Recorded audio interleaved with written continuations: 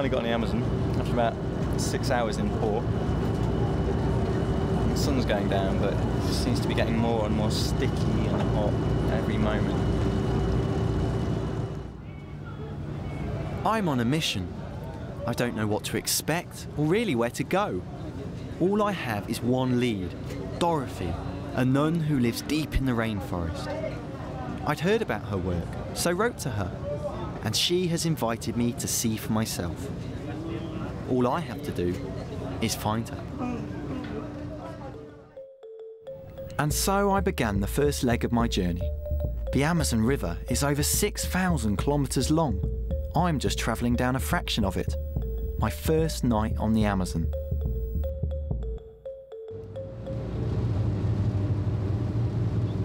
Last night had been unbearable. I didn't know if I was itching from my streaming sweat or the tiny insects trying to feast on me. But the cool morning air and a quick wash helped lift the heat of the night before the sun would rise and try and kill me.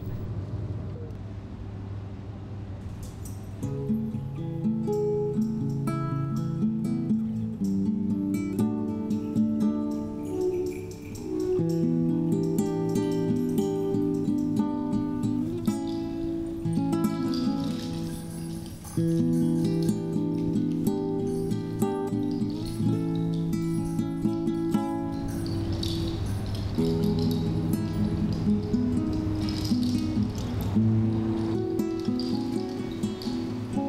gazed at the seemingly endless bank of trees and imagined all the life they held. Apparently, over half the world's species. Other sights were more sickening barge after barge laden full with rich forest pickings.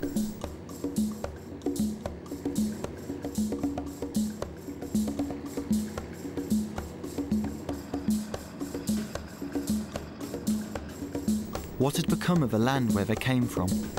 And where were these logs going?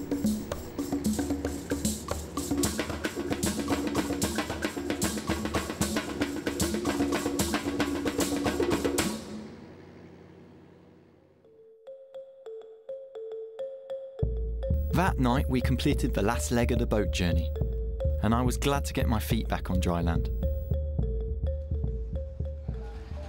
I arrived in Santarem this morning about three in the morning after the most hot, sweaty, and bug-infested night. Beetles were like covering me. It was it was horrific. Anyway, made it here. I'm staying in a nice hotel now, and this is sort of the last safe port of call before I go. Well, I don't know where I'm going. I just know that I'm meeting Dorothy, who's a nun. I couldn't get hold of Dorothy, but managed to make contact with one of her friends. She told me to head to Altamira, but to keep a low profile. So, with some fruit from the market and my trusty map, I headed for the next village in that direction.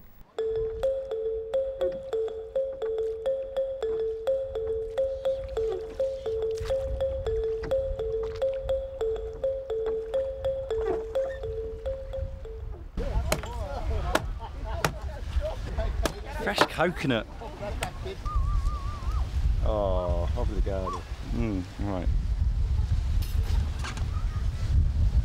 Absolutely divine. This is paradise on the Amazon. Can't believe it. We're on the way to the airport. I've just spoke to Sister Dorothy and she's arranged for us to stay at the priest's house. Uh, but she gave me the directions in Portuguese, so uh, don't know uh, how hard we'll find it to get there, but we'll see. At last, I felt like I was getting somewhere. Dorothy had insisted I didn't take the bus. I didn't ask questions, but wondered why. The Amazon looked great from the air, an emerald ocean stretching as far as the eye could see. But as we descended, the scars of civilization soon began to appear. Horrible, brown, and sudden.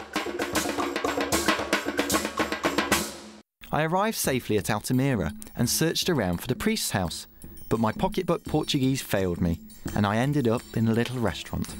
We've actually just been joined by, uh, quite surprisingly, by two of Dorothy's friends who have just turned up on motorbikes.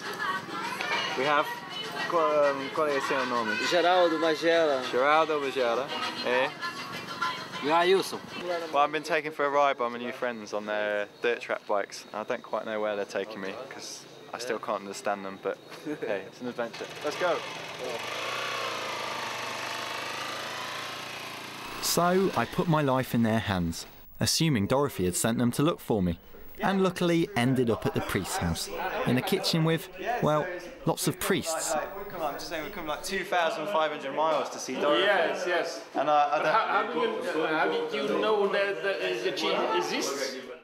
Well, actually, I didn't, but the next day I would find out.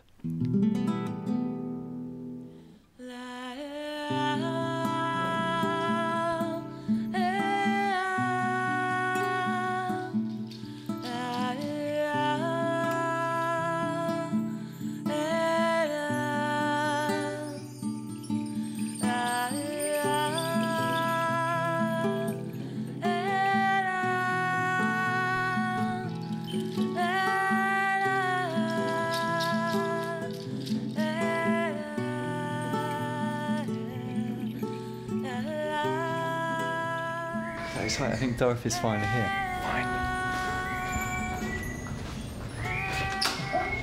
Opa, como vai?